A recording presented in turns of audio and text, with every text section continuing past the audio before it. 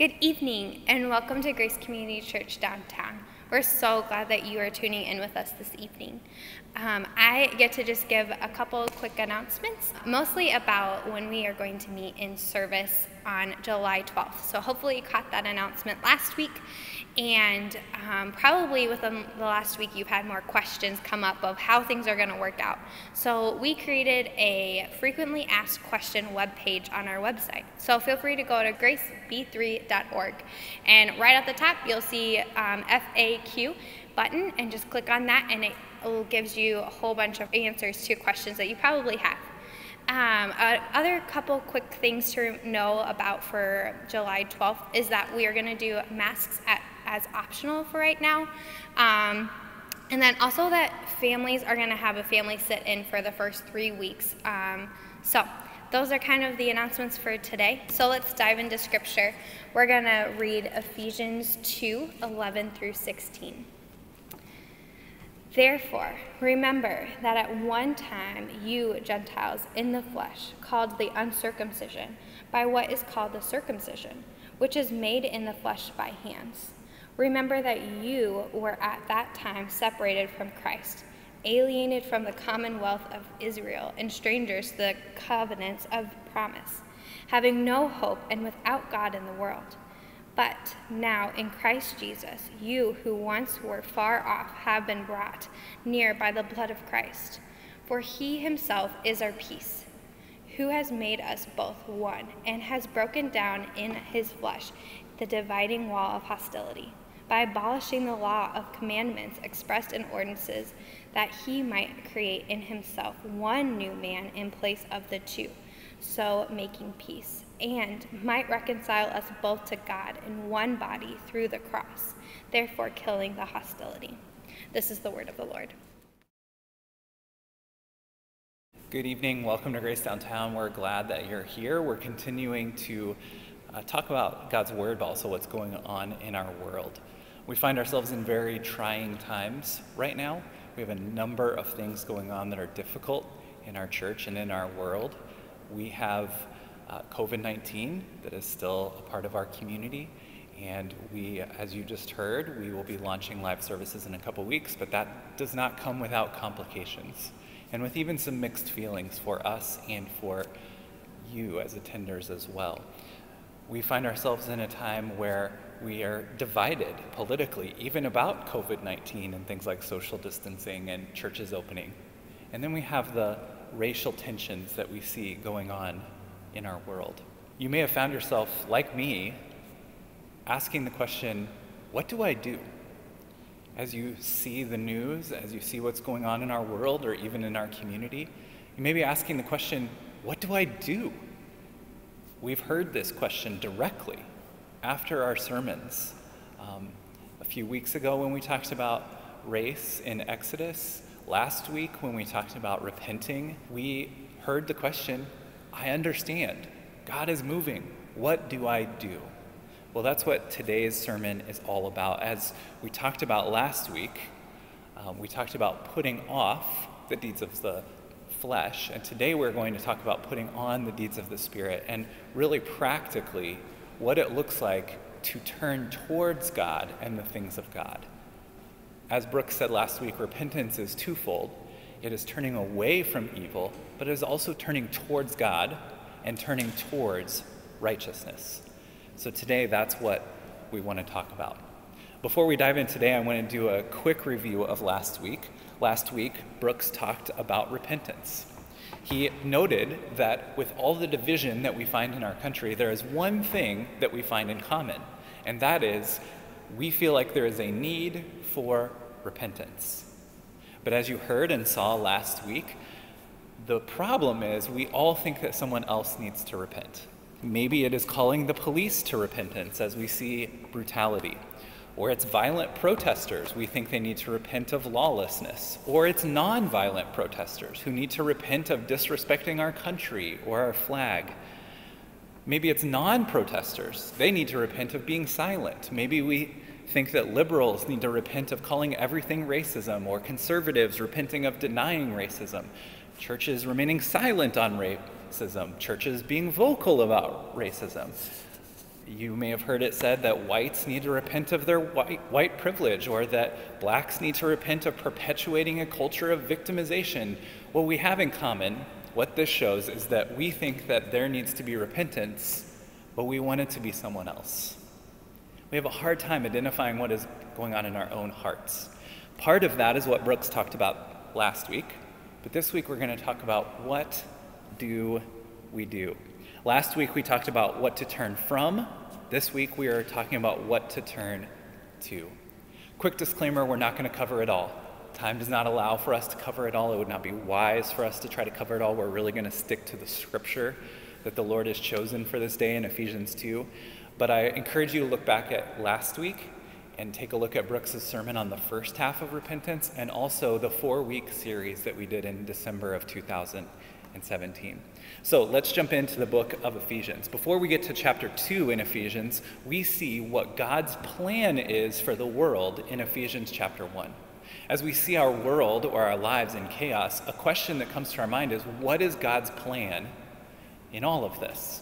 Well, we find an answer in Ephesians chapter 1, verses 7 through 10. In him, meaning Christ, we have redemption through his blood the forgiveness of our trespasses according to the riches of his grace, grace, which he lavished upon us in all wisdom and insight, making known to us the mystery of his will, according to his purpose, which he set forth in Christ, as a plan for the fullness of time to unite all things in him, things in heaven and things on earth. This tells us that God's plan is for mankind to be united to their Creator, to their God, through the work of Christ and his shed blood on the cross. While we have trespassed against God, God has made a way for us to be made right with him through the sacrifice of Christ. And in this, he has a plan for the fullness of time to unite all things.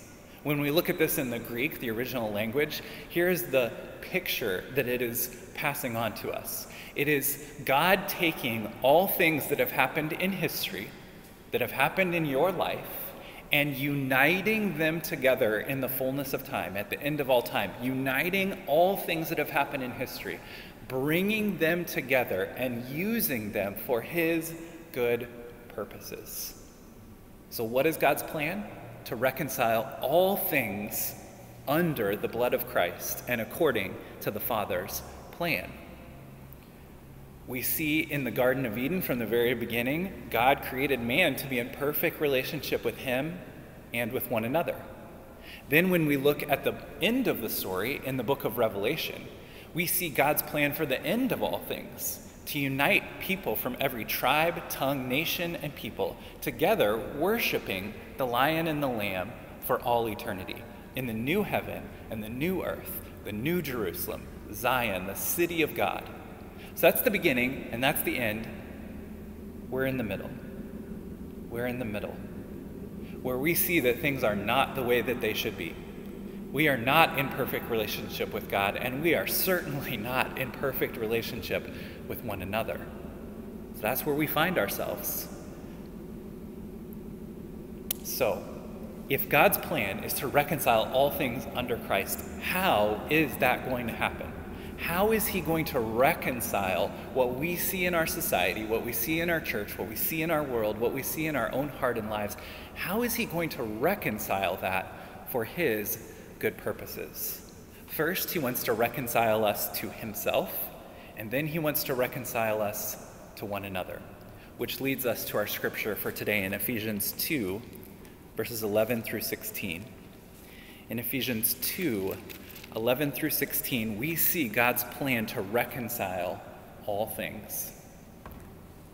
Therefore, remember that at one time you Gentiles in the flesh called the uncircumcision by what is called the circumcision, which is made in the flesh by hands.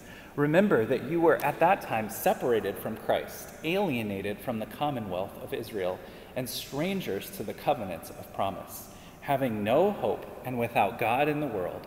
But now, in Christ Jesus, you who were once far off have been brought near by the blood of Christ.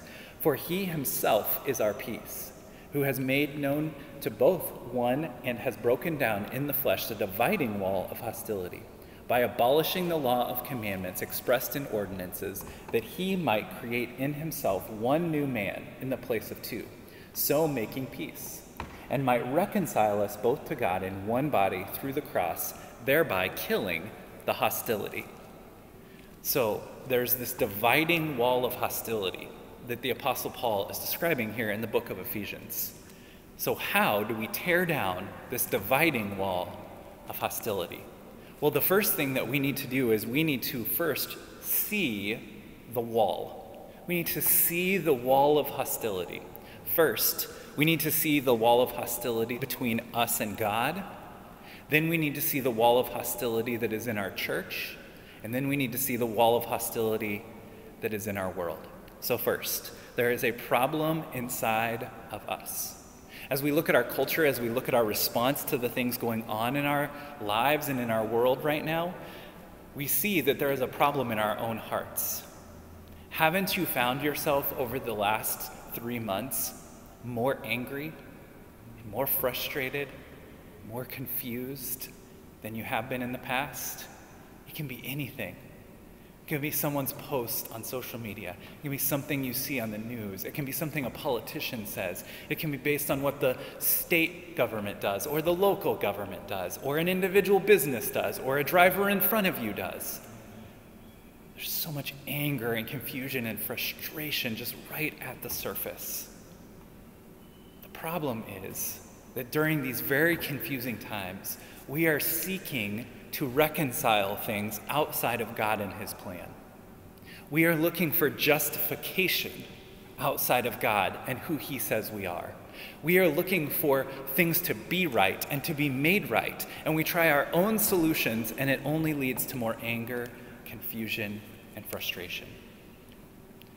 Even if you take the example of protesting, if you are protesting often you find, try to find your justification in you're speaking out. Or you accuse protesters of doing the wrong thing and you're looking for your justification there. We're trying to find our identity. We're trying to find our justification in what we say about the issues or what we do instead of who God says we are. We are looking for hope. We are looking for justification. We are looking for identity in our tribe the political group that we belong to, the mask or no mask crowd, the protest or no protest crowd. We are looking for reconciliation in division, and it's not there. We're identifying by our group instead of who God says we are. So there's a problem in us. There's a dividing wall of hostility that we think is just between mankind and mankind, or skin color and skin color, or police or no police, or mask or no mask. But actually, we have to start by looking at our heart, seeing that there's something wrong in our heart. Next, there's a problem in the church. There's a problem in the church. When Paul speaks here in Ephesians of the dividing wall of hostility, he is not using something uh, metaphorical, he is not using something spiritual, he is using something concrete to point out what is a current reality in the church of God in Ephesians and now, some 2,000 years later. The literal wall of hostility that he is speaking of was in the temple in Jerusalem in the time that Paul is writing this. There was a literal wall in the temple in Jerusalem, and it separated the Jews from the Gentiles in the temple courts.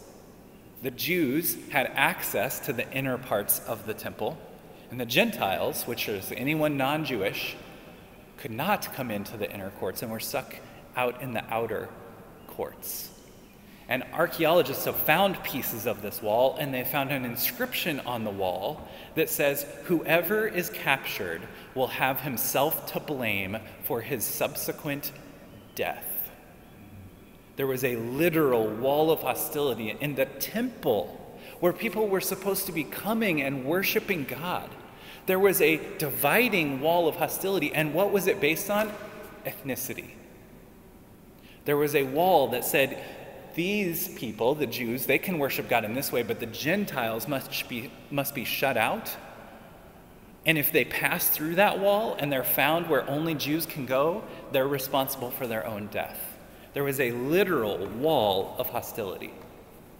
So, today, what is the wall?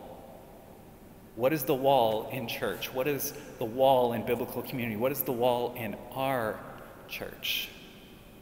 The first wall is we don't think there is one. There was a literal wall in the Jerusalem temple. Now there's not the literal wall, so we don't think there is one. We think everything should just be fine.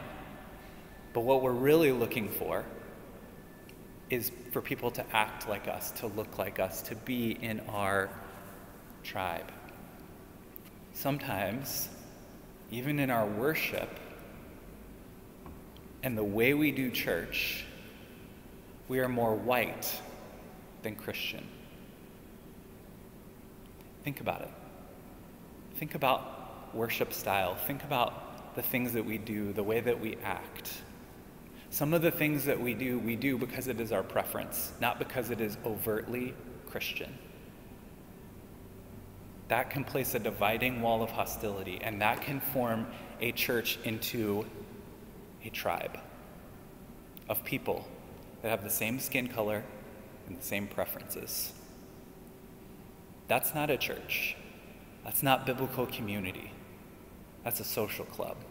That's a thing of the world. That is not good news, people. That is not biblical community. In our lives, we often want to make things into our image. We want things to look like us. We want things to be safe and easy for us. We want to have a tribe where people have the same preferences as we do. Maybe it's skin color, preferences, politics, how we school our kids, but tribalism kills biblical community. It kills unity. See, difference in the church is not the problem. We are called to be one body, as Ephesians 2 is telling us. But 1 Corinthians, Paul also writes 1 Corinthians, and he says that body is made up of different parts, they have different roles but all one body. See, unity without diversity is just uniformity, it's not community. Let me say that again. Unity without diversity is just uniformity, and it's not community, certainly not biblical community. Often, we think in political categories instead of biblical ones. And when we do that, we struggle to be the people of God. When we have complex questions in our culture and in our world, like what do we do about criminal justice? What do we do about refugees and immigration? What do we do about racial disparities? These are confusing and complicated issues in our society, and I don't claim to know the answers to all of them. But loving your neighbor and being the people of God is not complicated. It's hard. That's the thing. Those complex political issues are hard, they're complicated. Loving your neighbor and being the people of God is not complicated, it's just hard. It upsets the status quo. The status quo is much easier than being the people of God, but is also wrong. To be a biblical community, we can't just do what's easy. Third, what is wrong in the world? I don't think I need to say much here. We can look outside our windows, we can look on TV and see there's something wrong in the world. And it's not just one thing, it's many things. There's a reason we think all those different people uh, that we listed that need to repent, there's a reason that list is long, because we look at the world and we see brokenness everywhere. Just give one example of how broken and messed up the world is. We have people that are violently protesting, and it is supposed to be about Black Lives Mattering in our community. It's supposed to be about the death of George Floyd, his murder in the broad daylight. It's supposed to be about that. But we have violent protesters who are white, who are bashing in the windows and stealing from small black businesses in the inner city and ruining that person's future, who has overcome so many obstacles to start and maintain a business. And we have violent protesters taking that away from them in the name of Black Lives Matter. That is messed up. Our world is messed up. Our response to evil is often evil. Our response to hate is more hate. Our response to violence is more violence, and it is getting us nowhere. There is something wrong. And it's not just out there with people that don't know Christ, it's in the church and in our hearts as well. We have a silent, invisible enemy, the devil, who loves dividing walls of hostility. And he has us as people and as a church and as a society right where he wants us.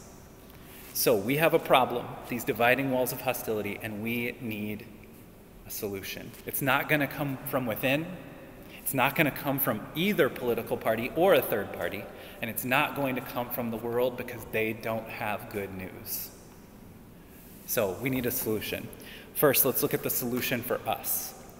As I said, there is hostility between us and God, but look at verses 12 and 13 of Ephesians 2. Remember that you were at one time separated from Christ, alienated from the commonwealth of Israel, strangers of the covenants of promise, and that led you to having no hope and without a God in the world. But now, but now, in Christ Jesus. You who were once far off have been brought near by the blood of Christ, for he himself is our peace.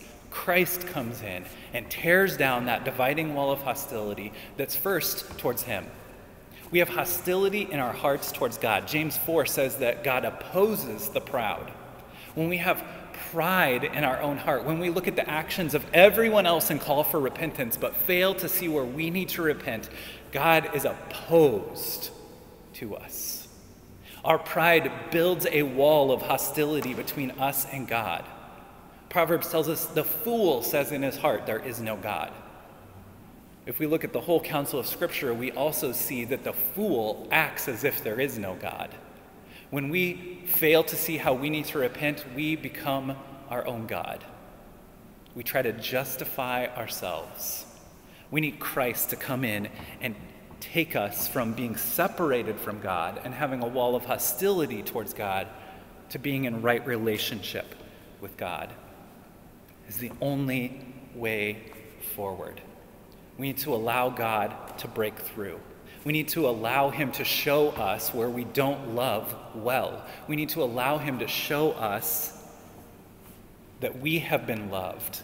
These verses, it repeats the phrase remember. Remember that once you were far off. Remember that you are now in Christ. Remember that Christ has overcome that hostility in your heart. We need Christ to break through our pride. We need to allow God to show us our blind spots where we just don't see things the right way. As Brooke said last week, we don't need to repent of things like white privilege, it's just a fact. If we're white, we have certain privileges, we have certain experiences that are unique to us. Same if you have black skin, same if you come from a different country. All of us have a lens through which we see the world, and it inevitably gives us blind spots. What we need to repent of is not working to overcome those blind spots, to see the things that we cannot see. We need to allow God to show us what we need to see. One practical way we can do is educate ourselves on American history. Not a whitewashed American history, but just a true picture of American history. And more than anything, we need to read God's Word. We are reading more news articles than God's Word. We are reading what our friends have to say. We are listening to politicians more than we are listening to what God has to say. And in these complex times, in these trying times, we are sunk if we do not hear a word from the Lord. Let's allow Him to show us our own heart, show us our need for Him, and overcome our blind spots by His powerful word. What is the solution for the church?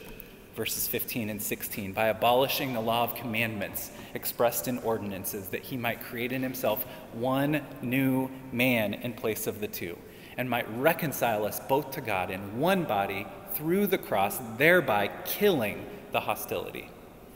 God overcomes that wall of hostility between us and Him, but also between one another.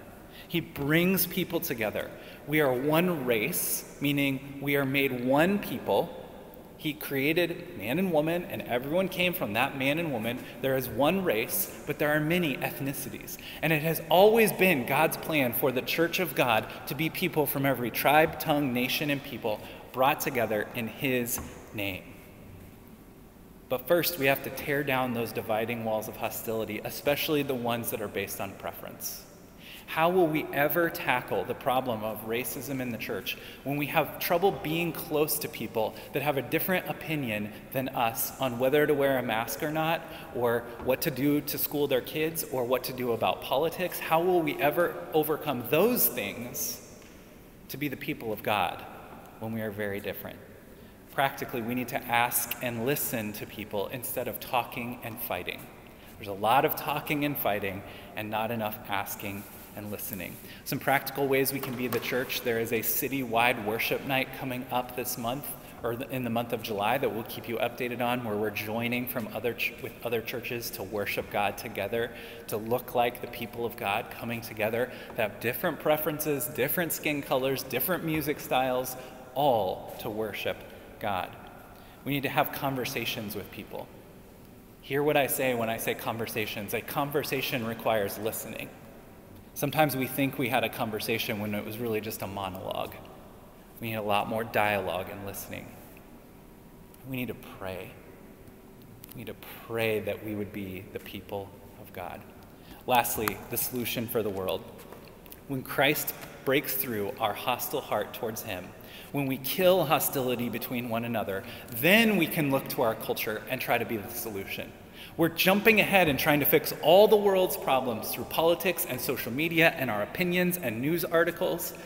We are trying to fix our world and we are ignoring what's going on in our heart and in our church. There are things going on in our world that are just not right. But first, we have to address what's going on in our heart so we can see clearly. In Martin Luther King Jr.'s letter from a Birmingham jail, he lays out what we should do before we protest or before we try to tackle racism in our culture.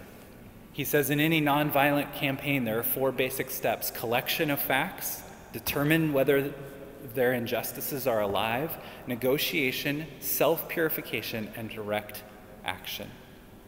We need to purify our hearts. We need to listen well to others. We need to do the research, and then we need to be moved to action. We need to be the people of God. We need to hear from our God. We need to love one another well and then go out into the world and be the people of God. We need to look to undo any unjust system. That means we need Christians involved in peaceful protesting, praying like crazy in their prayer closet in their own house. We need Christians in law enforcement. We need Christians in education. We need Christians in social services. And we need Christians in every neighborhood. We will not win the fight for Christ on Facebook. It will be through loving well and changing unjust systems. You can give to organizations that are doing good in our community. Places like Dream City, Iowa is doing great things to empower fathers in our community, especially men of color in our community. You can give towards places like Faith Academy, where my own kids go to school, where they are doing great things for some of the the least of these and the families that are in poverty or in need of good education here in Iowa City. And we need to speak out. We need to listen well and then speak out to be a voice for the voiceless. Ephesians chapter 2 ends with Paul saying, In him you also are being built together into a dwelling place for God by the Spirit. God wants to make us into his dwelling place so his spirit can come and live inside of us. And then in Ephesians 3, he says that the spirit comes in us and we are in Christ so that through the church, the manifold wisdom of God might now be made known to the rulers and the authorities in heavenly places. We are to come together as one body, one spirit, No matter what our ethnicity, our background, our socioeconomic status, our skin color, we are to come together and be the people of God. And so, in these trying times, the world can see the manifold, the constantly unfolding, the multi sided picture of the wisdom of God. Instead of fighting on Facebook and for all the world to see, we are supposed to be loving well for all the world to see. Let's pray and act to those ends.